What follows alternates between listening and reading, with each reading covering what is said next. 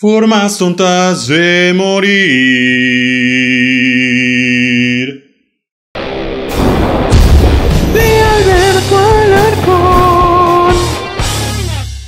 Vamos a grabar esto rápido porque tengo mucho calor. Hola gente, ¿cómo están? Mi nombre es Alberto Alarcón, arroba Shaspid en Twitter. Y resulta que hoy es miércoles. Miércoles de reseña o reacción.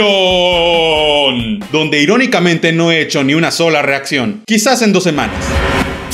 Y bueno, con toda esta onda halloweenesca, se me ocurrió reseñar alguna película de terror. Pero después pensé, ¡ah! Piensa, piensa. Y me acordé que existe la serie de American Horror Story. Así que el día de hoy vamos a reseñar American Horror Story.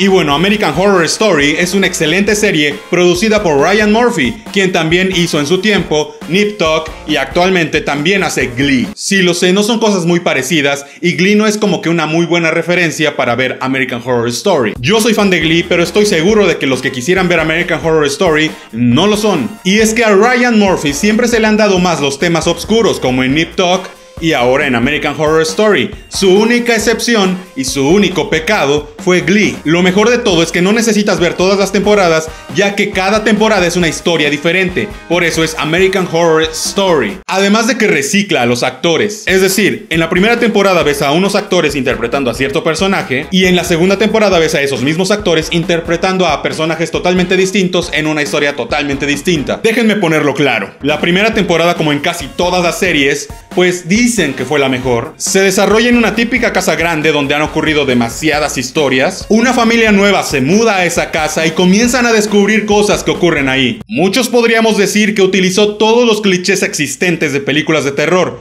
y en parte sí, pero lo mejor de todo es cómo los utilizan. La dirección de cada episodio y de cada temática son bastante buenas. Te adentran totalmente y te ambientan en la historia. Terminas súper enganchado a la serie, además de muy asustado. A menos claro de que tengas resistencias como los típicos chavitos que van al cine, ven una película de terror y dicen, ja, no me dio miedo, es más, me dio risa. Y aparte de todo, se ríen en el cine. La segunda temporada se llamó American Horror Story Asylum. En lo personal, yo siento que esa temporada fue la mejor. Se desarrolla en un centro psiquiátrico dirigido por monjas por allá en los 60s y créanme cuando les digo que pasa de todo. Al principio de la temporada vemos a Adam Levine de Maroon 5 hacer una aparición especial en una historia que no se termina de entender hasta el final de la temporada. Esta se desarrolla en 2013. Es una temporada con abducciones alienígenas, posesiones demoníacas, gore, muerte, destrucción y mucho terror psicológico. Pero como les digo, la dirección es de lo mejor y es que hace mucho tiempo que no se veía algo así en terror. Te lleva totalmente al borde de la locura, como los loquitos del centro psiquiátrico. En 1960, una reportera lesbiana que no debería haberse inmiscuido en asuntos que no le importaban, se mete en los asuntos de una madre superiora que dirige un centro psiquiátrico. Termina encerrada en el centro psiquiátrico sin poder salir y sin poder hacer que alguien le crea que no está loca. Pero mientras está ahí adentro con gente bastante friki y bastante loca,